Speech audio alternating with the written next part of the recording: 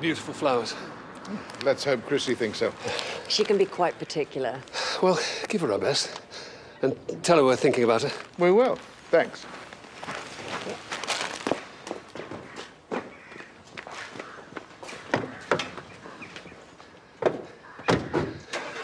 We're on.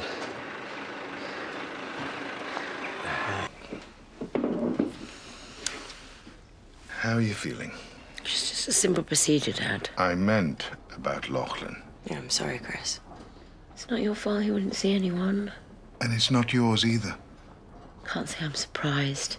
Clearly still blaming everybody apart from himself. He'll change his mind once he's had a chance to cool off. I hope you're right. But he's seriously deluded if he thinks I'm going to sit back and let him pull a stunt like this. He's my son. Not going to let him shut me out.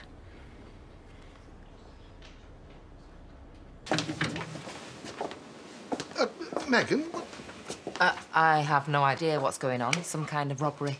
I just came here for our meeting. I left a message on your answer machine. Didn't you get it? Are you the owner of the property? You have friends staying, Lord Oscar and his lady friend. What's he talking about? I've no idea. I'm sorry. Who are you and what are you doing in our home? Harold Branner, these people insisted they were friends of yours. I told you to be on your guard. I thought it was sus from the start. Oh, so it's my fault.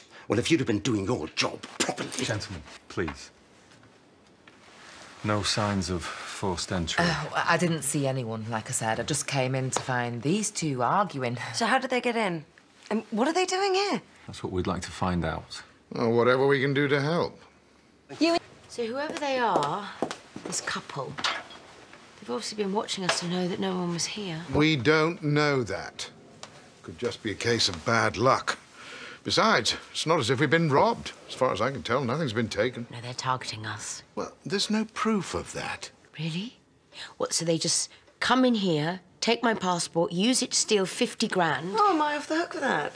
Yeah, well, obviously after this, I mean, it can't be coincidence. Apart from the fact that there's no sign of forced entry on both occasions. Well, then we're going to have to change the locks because someone has a key. It's the only way. Oh, all right. I'll get onto that first thing tomorrow. Who could be doing this? It's not like we don't have our enemies. But I tell you this much I am going to find out who's doing these things to us. And when I do, they'll be sorry.